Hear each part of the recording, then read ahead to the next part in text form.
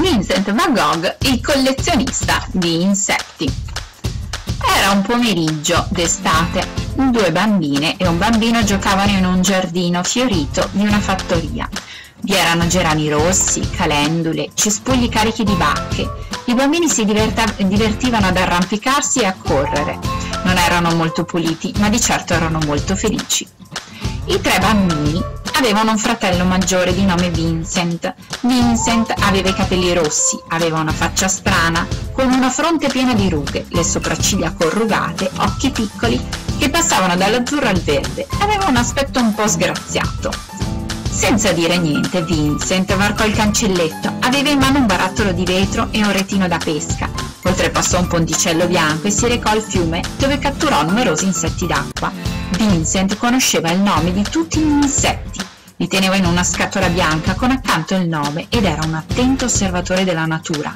Studiava gli uccelli, i loro nidi e la vita nel sottobosco. Vincent era un mercante d'arte, vendeva quadri. E sebbene Vincent conoscesse molto bene l'arte e la pittura, non era un bravo mercante, era troppo timido e goffo. Così lo licenziarono dopo venne assunto come insegnante di francese da un vicario. Sebbene riuscisse a conquistare gli alunni più intelligenti, non era un grande insegnante.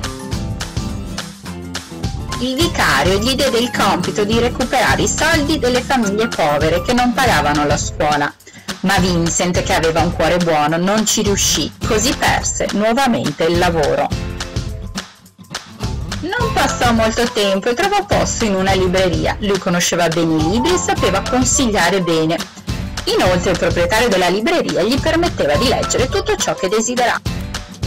La mamma e il papà di Vincent non erano ricchi, ma avrebbero fatto qualsiasi cosa per renderlo felice.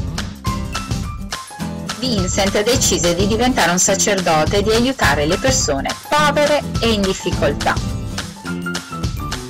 Vincent curava giorno e notte gli ammalati.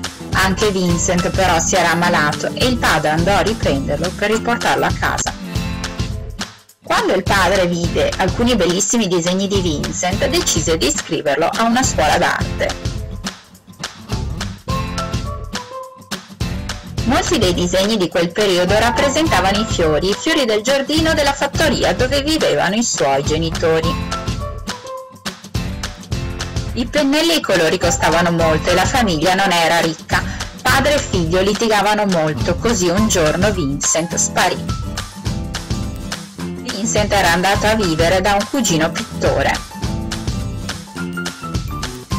Vincent era un acuto osservatore e non appena iniziò a dipingere la sua arte esplose.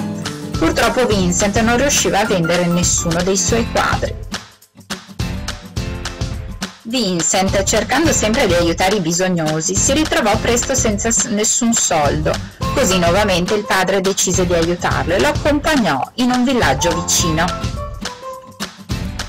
Vincent trascorreva le sue giornate a dipingere. Cavalletto, foglie e pastelli erano i suoi compagni. Dipingeva i contadini nei campi e le donne intente a tessere. Un brutto giorno il papà di Vincent morì Theodore, il fratello minore di Vincent, ammirava i dipinti di suo fratello e tentò più volte di venderli, ma non ci riuscì. Ora il papà non c'era più. Theodore si sarebbe occupato di Vincent, si sarebbe occupato dell'acquisto dei colori e dei pennelli. Theodore era sposato e diede il nome di Vincent al suo primo figlio. Vincent regalò per il battesimo del nipote un bellissimo quadro che rappresentava il ramo di mandorlo fiorito. Vincent dipingeva moltissime ore senza quasi mangiare sotto il sole cocente. Di tanto in tanto stava così male da dover essere ricoverato in ospedale. Theodore era molto preoccupato per la salute del fratello. Non appena Vincent stette meglio riprese a dipingere e dipinse il bellissimo quadro dei girasoli. Vincent iniziò a dipingere tardi, ma tutti gli anni passati ad osservare la natura gli permisero di realizzare in poco tempo dei bellissimi quadri ricchi di colori. In vita Van Gogh non vendette nemmeno un quadro, ma dopo le, la sua morte le sue opere divennero famose in tutto il mondo.